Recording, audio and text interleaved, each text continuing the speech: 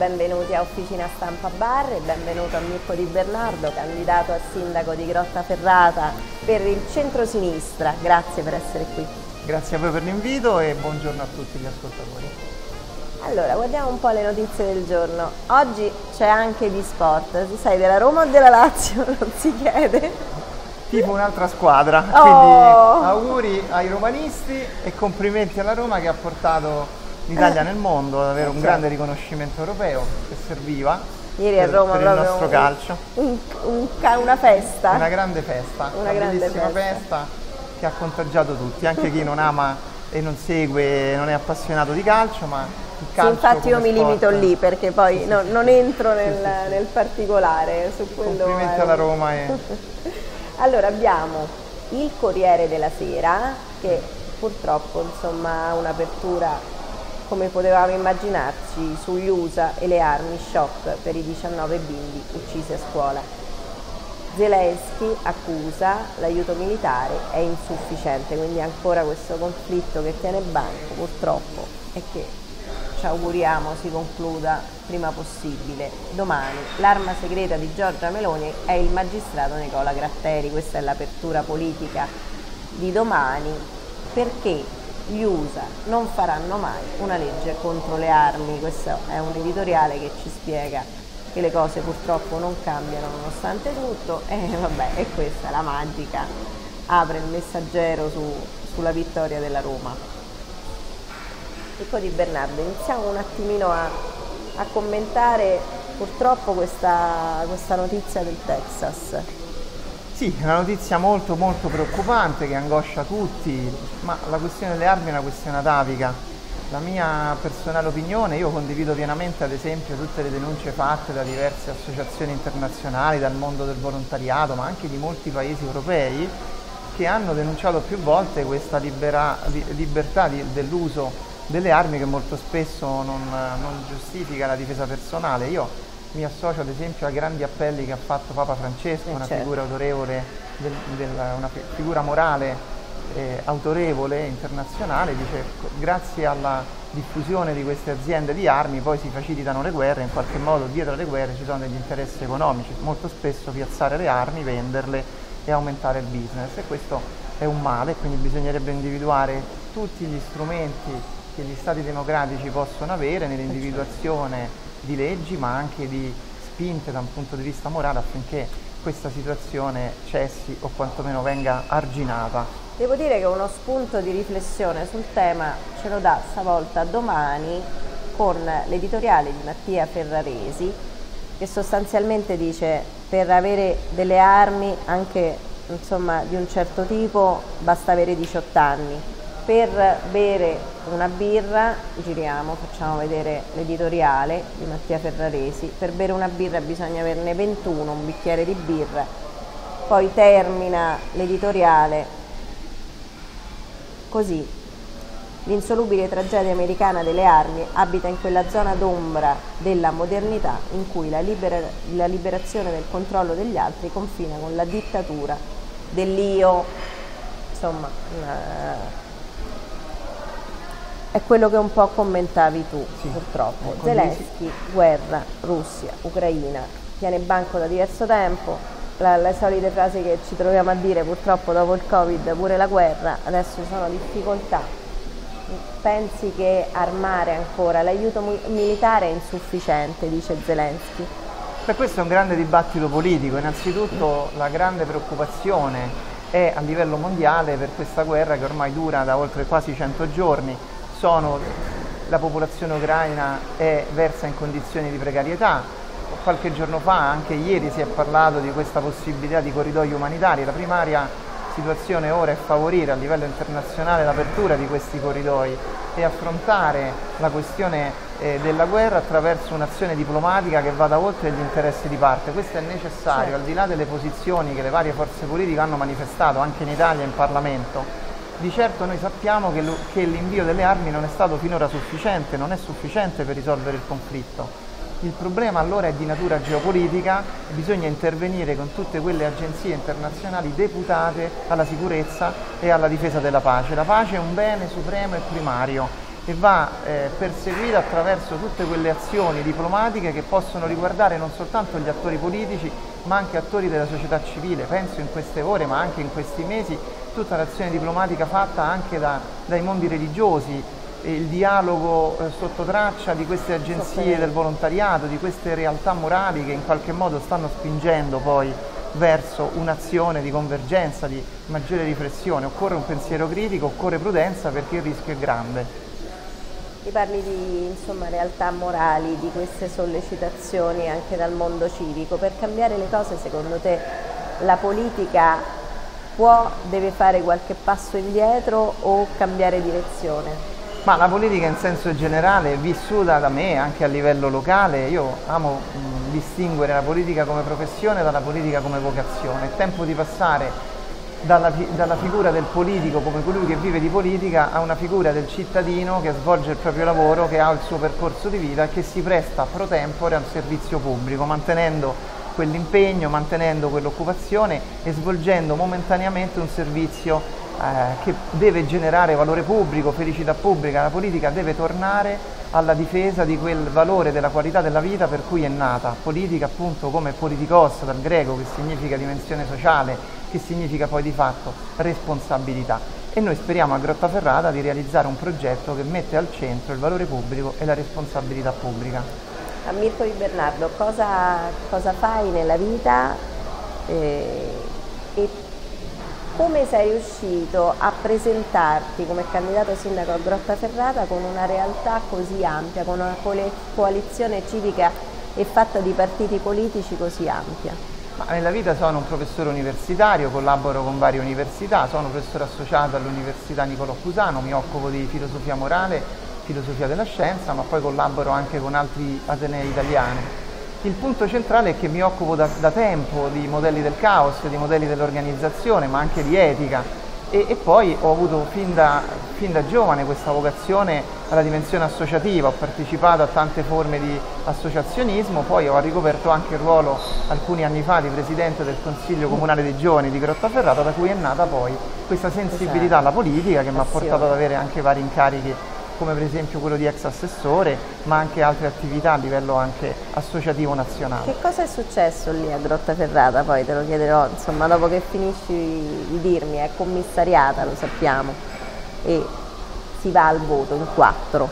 Si va al voto il 12 giugno e noi nel centro-sinistra abbiamo fatto insieme alle varie forze che animano questo progetto un percorso importante la vera novità di questa stagione politica è l'unità del centro-sinistra e questa unità è stata raggiunta con un percorso serio, lungo, lungimirante, che ha messo al centro non le persone ma i programmi. Si è avviato un tavolo politico sui programmi, sulla programmazione, sugli obiettivi e dopo con le primarie si è scelto chi poteva essere il miglior rappresentante di questo progetto. È stato fatto questo per valorizzare l'attività di partecipazione. Nell'ABC del nostro progetto politico c'è la partecipazione, la riqualificazione dei beni inutilizzati, grande, un grande intervento strategico su Grottaferrata che da oltre dieci anni aspetta scelte coraggiose, scelte lungimiranti e per farle ed essere credibili abbiamo unito tutti, dai movimenti civici alle ecco, realtà diciamo, come sì, il Movimento 5 Stelle, il Partito Democratico, realtà consolidate del mondo civico come la città al governo.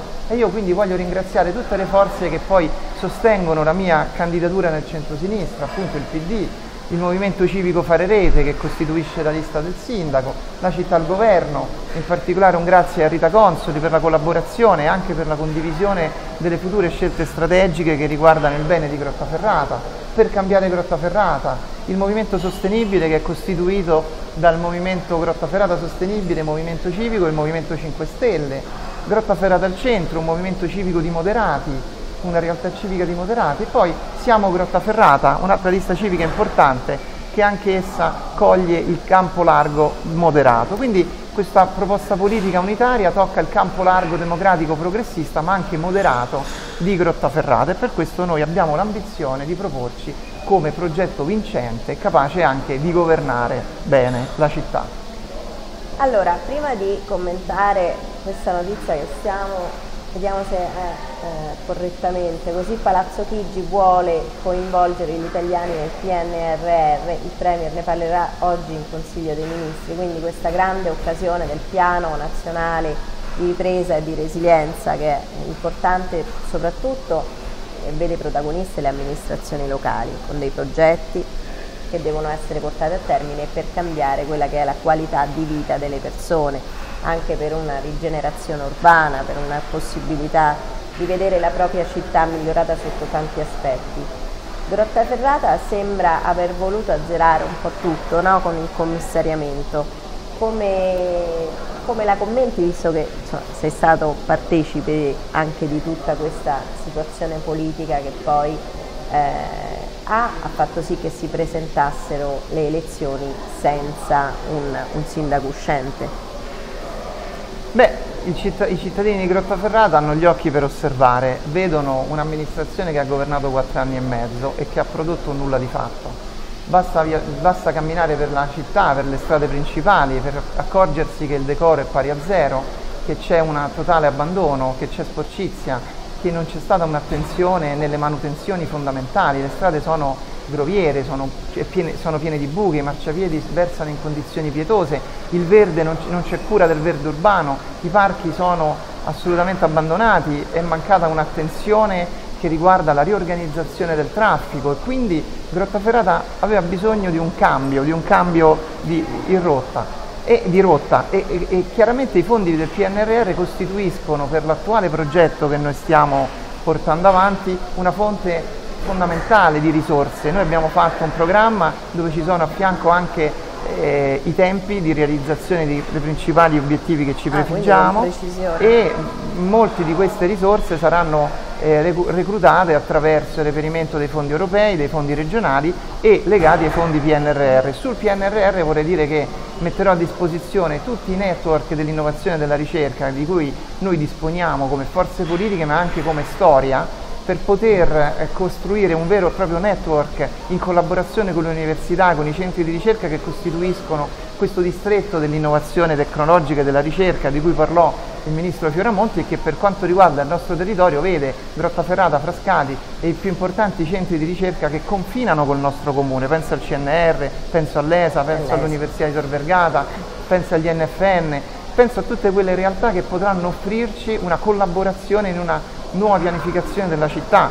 Noi abbiamo l'ambizione di fare la nuova pianificazione urbanistica in tempi brevi, entro tre anni, ma abbiamo anche la necessità di intervenire in modo strategico sulla ridefinizione, il, sul fatto di ridisegnare proprio anche l'area d'ingresso della nostra città, riqualificare quei luoghi che Andreotti definiva luoghi dell'abbandono e che a noi piace definire invece come beni inutilizzati, beni in disuso e riqualificarli con progetti seri. Penso a due progetti in particolare, All'ex Bazzica. Noi vogliamo costruire, realizzare la Casa della Solidarietà, rivisitando il progetto dell'amministrazione Mori, integrandolo però con quelli che sono i fondi già in essere del PNRR su quell'area e affidandolo quindi a tutto, tutto, questo al tema del dopo di noi e quindi al coinvolgimento di persone diversamente abili che in collaborazione con delle associazioni di volontariato e del terzo settore andremo a, costru- a costituire e a valorizzare una struttura ricettiva per giovani che però opera a livello della cooperazione internazionale, integrando così i progetti precedenti con il progetto della Casa della Solidarietà. E invece all'ex Mattatoio intendiamo valorizzare il polo universitario riscoprendo Grottaferrata Città del Libro, collaborando con l'università per un corso di laurea nel restauro del libro e poi sempre in quel luogo eh, realizzare in occasione anche del millenario del 2024 una scuola di scienze religiose che abbia a cuore il dialogo con l'Est, con l'Oriente, quindi con le chiese orientali e con tutta quella tradizione di Grottaferrata che vede Grottaferrata definita come porta d'Oriente. Questa porterà turismo, porterà innovazione e valorizzerà il brand name di Grottaferrata anche a livello degli scambi commerciali futuri. Al di là della forte vocazione del turismo religioso di Grottaferrata, la domanda che mi viene spontanea a fare è proprio riguardo il libro, la cultura. Tu credi che ehm, Grottaferrata, città del libro, sia protagonista in questo senso oggi o che cosa si possa fare oltre a questo dialogo e fare rete che è fondamentale. Si sta costruendo una generazione futura eh, rispetto a, al brand città del libro?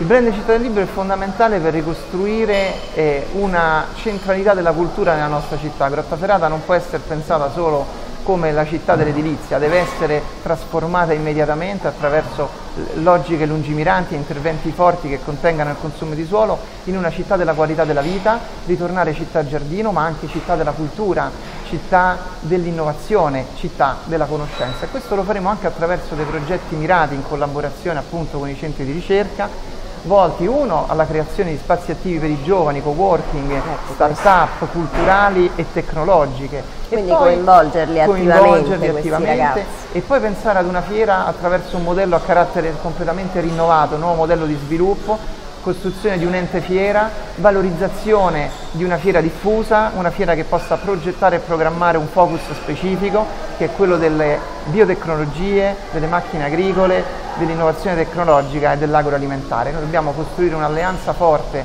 con il mondo imprenditoriale locale, con la ristorazione, con le associazioni vitivinicole, realizzare la Casa del Vino e valorizzare queste nostre qualità dentro una fiera che deve diventare la fiera dei castelli romani, deve diventare quel, quella volano che possa unire cultura, attività produttive e quindi recuperare il modello, il concetto del libro dentro un progetto lungimirante che si apre però all'innovazione tecnologica. Noi pensiamo anche alla cura dei parchi, alla loro apertura, alla loro riqualificazione, ma anche a delle attività culturali da svolgere nei parchi. Pensiamo ad esempio ai parchi della lettura, penso al Parco della Rimembranza, penso al Parco degli Ulivi, penso ad esempio al Parco Scala che è sempre stato chiuso, non è mai stato aperto, lì è necessario aprirli e dedicarli alla città. In particolare importante per noi sarà anche l'attenzione agli animali, alla tutela degli animali e per questo noi pensiamo di riqualificare le aree cani e di, e di valorizzare anche quell'area cani prevista nel Parco Scala che non è, stata, non è attualmente ben in uso e Beh, quindi noi puntiamo a riqualificare Grotta Ferrata. Che facciamo? Prendiamo qualche? Buongiorno? Eh sì, eh, prendiamo un caffè. Due caffè, grazie al Jack Jack che ci ospita da tanti anni, con un'informazione diciamo corretta, libera, soprattutto indipendente. Che ti volevo chiedere, i giovani, io ci tengo molto a questo tema, anche perché quando si presentano le elezioni amministrative cioè, beh, in questo caso devo dire vedo una visione, nel senso c'è una programmazione a lungo termine. Però ecco, se si affronta bene, secondo me, il problema dei ragazzi, dei giovani, di come eh, interessarli alla vita sia politica che sociale di una, di, di una comunità, è, è, tanto di guadagnato. Sono le cronache di tutti i giorni, adesso ne faccio vedere una a caso di oggi. Delitto Giuliani, Mirto confessa, sì l'abbiamo uccisa noi, sono praticamente due figlie, due figlie e un fidanzato che hanno ucciso la loro madre per problemi economici. Ecco, questi ragazzi non soltanto c'è una deriva sociale, ma anche il Covid, la pandemia ha portato a, a, forti, a forti, problematiche, a un isolamento, a, a, non incoraggiare. Questa società secondo me non incoraggia molto i ragazzi.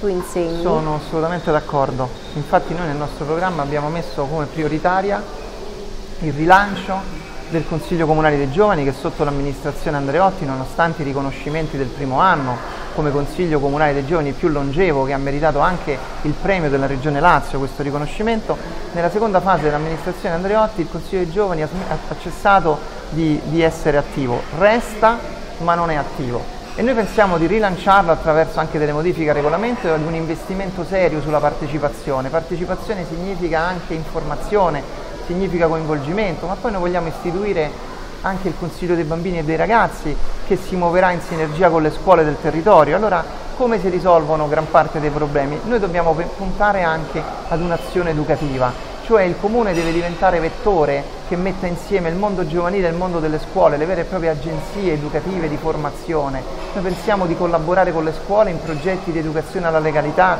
di educazione all'affettività, alla partecipazione, da un punto di vista delle politiche sociali prestare un'attenzione importante ai diritti, alla tutela dei diritti, agli uffici di prossimità, agli sportelli che possano implementare il servizio di psicologia scolastica. ma anche avere attenzione agli ultimi, avere attenzione agli ultimi attraverso una strategica politica di valorizzazione della, delle case, della, dell'abitazione per chi non ce la fa, ma anche ripristinare quei progetti sani che hanno visto in passato aiutare, eh, aiutare i cittadini che non ce la fanno. Penso a risorse in comune che va rilanciato. E poi nel dialogo con le AS locali intervenire con il progetto Le Piazze della Salute e, e, le, varie, e, le, e le varie occasioni per poter creare una sinergia di prevenzione, di implementazione di tutti quei servizi che possano permettere nel nostro territorio comunale di agevolare i cittadini, assisterli e coinvolgerli nelle fasi anche diagnostiche, preventive e tutto questo attraverso una rivoluzione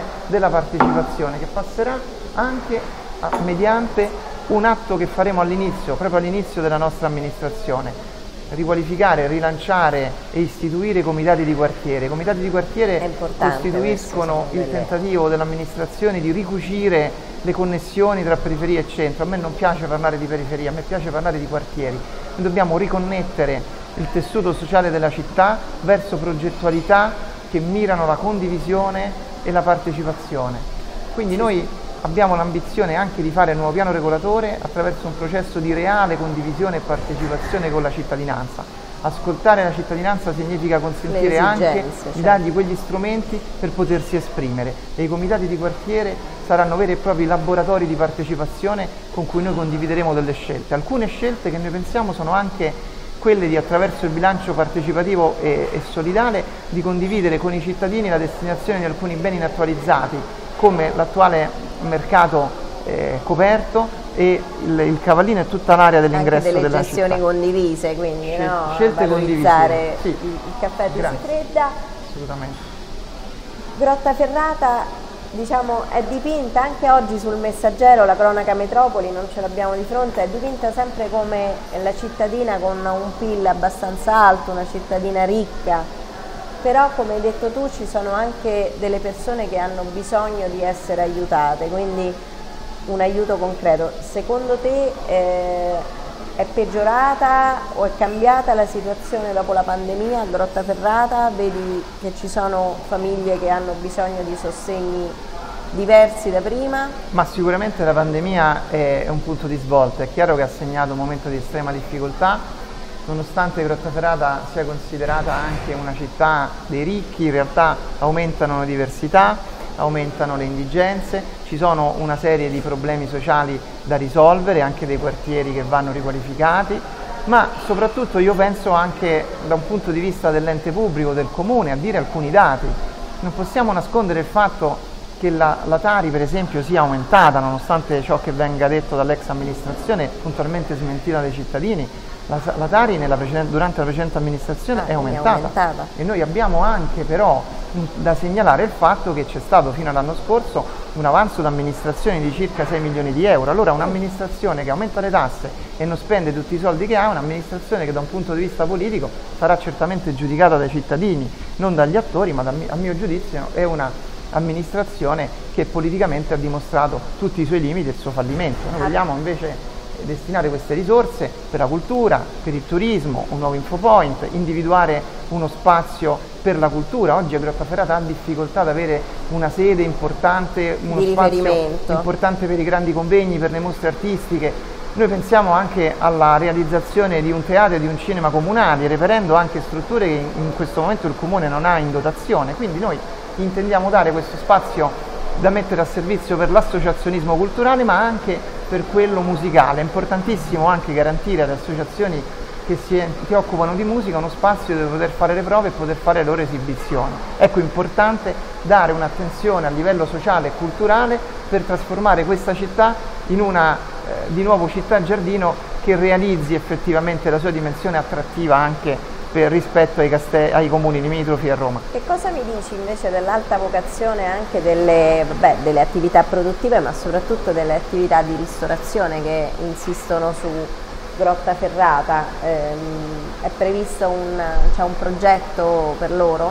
Assolutamente sì, esistono una serie di bandi di risorse della regione, anche adesso in, da poco pubblicati, e un'infinità di opportunità per valorizzare questo network qualitativo che rappresenta Grottaferrata. Noi intendiamo dialogare, ci sarà anche un confronto con queste associazioni di categoria nei prossimi giorni, intendiamo dialogare con tutte queste realtà associative che fanno il bene della città, penso ai vignaioli, penso alla ristorazione, penso al commercio, noi dobbiamo garantire servizi, garantire servizi, intervenire sul decoro, intervenire sui parcheggi, cercando di destinare alcuni parcheggi all'area bianca e a disco, col disco orario, per ripristinare un giusto equilibrio tra parcheggi blu e parcheggi bianchi, garantire maggiore qualità e soprattutto offrire a Grottaferrata e a questo mondo associativo delle occasioni per poter ottenere dei finanziamenti importanti che valorizzano le attività produttive.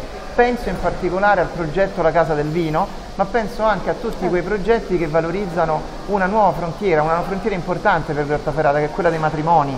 Noi dobbiamo facilitare le realtà e le imprese locali gli albergatori, le realtà importanti che fanno ricezione e turismo, facilitarle come matrimoni promossi dal comune, facilitare e semplificare le procedure burocratiche e valorizzare questi introiti che andranno ad arricchire le casse comunali e permetteranno a Grottaferrata di investire di nuovo in turismo, in innovazione e in attività produttive. Spesso eh, gli imprenditori e le istituzioni, il mondo della politica sono visti anche a volte con diffidenza, un po' per eh, la questione dei bagni, un po' per non essere troppo mm, preso, insomma, non lo so, è, è proprio uno stereotipo questo. Invece mh, mm, vediamo un'apertura, anche il Corriere della Sera ne parla, Capitale umano per le competenze, un nuovo dialogo aziende-istituzioni, si parla di lavoro, si parla di collaborazione si parla di incentivazione. Su questo stavi, stavi dicendo delle cose interessanti anche sul settore dei matrimoni, sul settore del, di aiutare e di fare rete. Eh, è possibile anche lì una sorta di apertura di una finestra di dialogo con eh, proprio il comune stesso, quindi un punto assolutamente? Assolutamente per... sì, noi pensiamo di riorganizzare la macchina comunale, prioritaria è la riforma della pianta organica, dobbiamo superare la logica della piramide rovesciata, dobbiamo eh, dare spazio a nuovi ingressi e valorizzare chi anche ha fatto un percorso storico all'interno dell'ente, penso alla promozione interna e anche alla selezione pubblica di nuovi, di nuovi innesti per rinforzare alcuni settori e crearne di nuovi. Penso alla necessità in tempi brevi di avviare un ufficio dedicato ai finanziamenti europei che si occupi della messa a terra dei progetti, della rendicontazione e del recupero anche di quei finanziamenti che saranno fondamentali da destinare per la riqualificazione della città. Ma penso anche alla, a, a, di rinforzare l'ufficio SUAP che collabora con le attività produttive e il mondo associazionistico locale, anche attivare uno sportello per poter facilitare orientare. i servizi e orientare le associazioni per fare finanziamenti e fare progetti di finanziamento, ma anche uno sportello di servizi al cittadino. Oggi noi abbiamo troppe difficoltà, il comune è visto come un castello inarrivabile, eh, come una, una gabbia d'acciaio, noi dobbiamo pensare invece di renderlo a servizio del cittadino facilitando i servizi, pensiamo a rinforzare l'URP e pensiamo anche di facilitare e ridurre i tempi di attesa per avere eh, le, le, risposte necessarie che ogni cittadino Quindi, ha bisogno di ricevere. burocratico intendi anche burocratico questo? è la nostra parola d'ordine. Beh, questo è importante soprattutto per chi eh, vuole lavorare e eh, viene incastrato in quella rete della burocrazia. E poi eh, volevo certo. dire una cosa ancora rispetto al, al bilancio comunale noi pensiamo di intervenire eh, per ridurre la pressione fiscale complessiva, quindi noi siamo a favore di una riduzione della pressione fiscale per quanto riguarda le tasse comunali ovviamente, ma nello stesso tempo pensiamo anche ad una rimodulazione delle aliquote in senso progressivo, perché da un lato vogliamo ridurre la pressione fiscale, dall'altro vogliamo anche in qualche modo andare incontro a chi non ce la fa e quindi a, chi versa in, in condizioni di maggiore disagio e difficoltà. C'è quindi questa possibilità, no? eh, lo permette, tu stai dicendo, il, lo stato di salute Una riduzione ma anche una rimodulazione in senso progressivo delle aliquote, lì dove è possibile intervenire nell'arco ovviamente dei cinque anni. E questo è importante. Il tuo programma elettorale, mi sembra di capire, non è il libro dei sogni, però ha una visione abbastanza in avanti. Sì, unisce interventi a, a temp, tempi, da realizzare in tempi brevi e interventi invece da realizzare secondo un respiro lungo, ampio. È possibile vedere l'intero programma al sito di Mirko Di Bernardo, www.mircodibernardosindaco.it, di dove sarà possibile consultare tutti gli aspetti più specifici di una programmazione che è il frutto, lo ripeto, di mesi e mesi di confronto tra le forze politiche, ma soprattutto tra le categorie e la cittadinanza. È per me questo programma un corpo vivo che sarà costantemente in, in, evoluzione anche rispetto alle nostre azioni e alle esigenze che via via la città ci presenterà. Ci sono appuntamenti di chiusura, di, insomma, di, di appuntamenti elettorali? Ancora no, la chiusura è presto. Ci sono tantissimi appuntamenti nei prossimi giorni anche col coinvolgimento di importanti figure del mondo delle istituzioni e dei vari partiti che sostengono questa coalizione. Le otto liste sono tutte le mie liste, sono otto liste importanti, civiche e partitiche e noi abbiamo questa occasione di, di, garantire ai cittadini anche la possibilità di un collegamento rispetto a quei livelli di, del governo della, del, della, della, provincia, della regione e del nostro, del nostro Stato. Siamo dentro un circuito favorevole e questo progetto solido ha anche il vantaggio di poter inserire Grottaferrata in un circuito di relazioni importanti. Verranno figure autorevoli del mondo delle istituzioni. Ecco, questo progetto credibile è anche sostenuto dal, a livello nazionale e a livello regionale speriamo tutti di poter fare del bene, di poter trasformare questa Grottaferrata in una città più integrata, in una città equa, in una città attenta ai bisogni dei cittadini. Un minuto uno per dirci la prima cosa che hai a cuore di fare qualora venissi eletto sindaco. Il decoro, il decoro urbano, avviare un global service che possa intervenire nelle cose più semplici quello. che sono quelle che tutti i cittadini ci chiamano a, a, fare. E poi un progetto attento per liberare alcune aree, io penso al quartiere di Pratone, bisogna aprire la nuova strada che congiunge via Nagnina e via di Rocca di Papa, penso a vari collegamenti, penso alla nuova stazione che fra un anno arriverà e che dovremo collegare con il resto della città, penso a questi interventi ma penso alle cose più semplici, pulizia, decoro, apertura dei parchi, attenzione al verde, tutela del suolo e anche creazione di playground, spazi attivi per i giovani, spazi sportivi. Bisogna tornare a dare l'opportunità ai nostri ragazzi di poter giocare dentro il nostro comune senza ricorrere a sanzioni o essere in difficoltà. Libero gioco, libera partecipazione. È il momento della nostra chiamata e chiamiamo il senatore Bruno Astorre, Partito Democratico.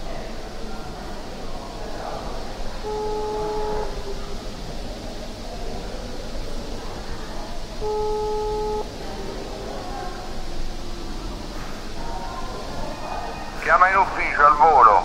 Va bene. 06. Va, 06? 6706 4012. Grazie, ok.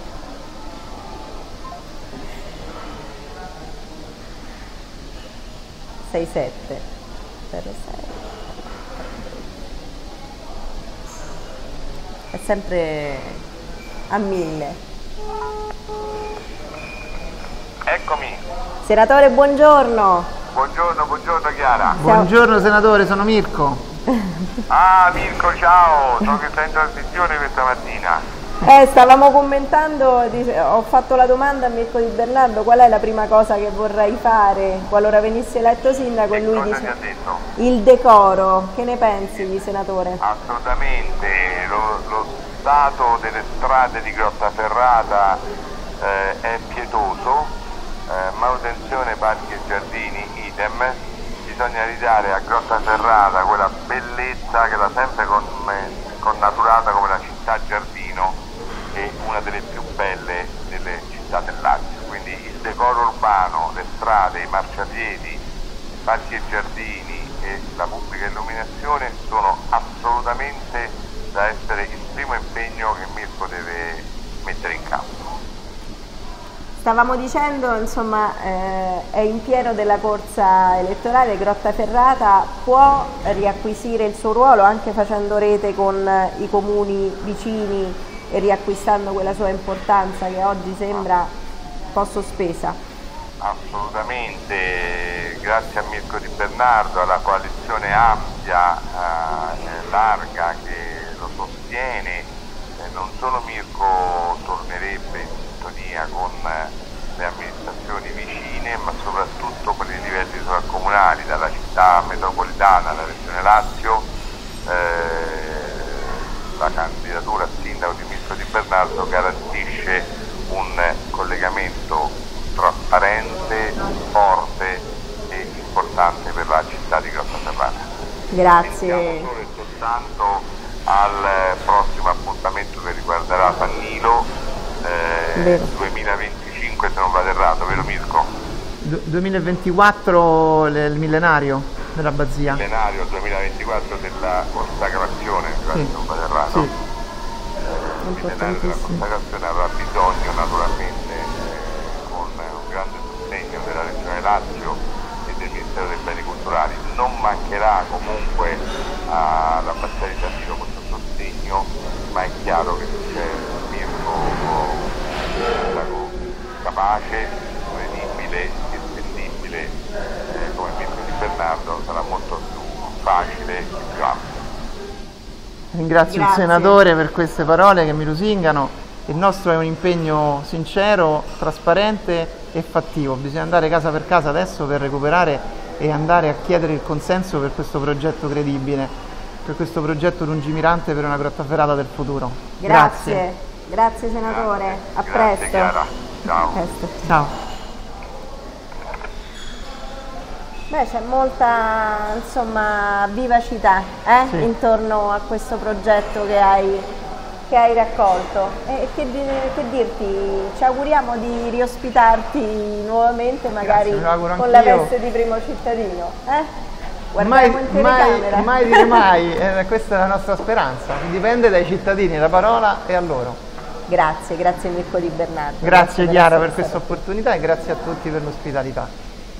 E noi ci diamo appuntamento la prossima settimana con Officina Stampa Bar, sempre qui da Grotta Ferrata, il Blackjack. Ciao!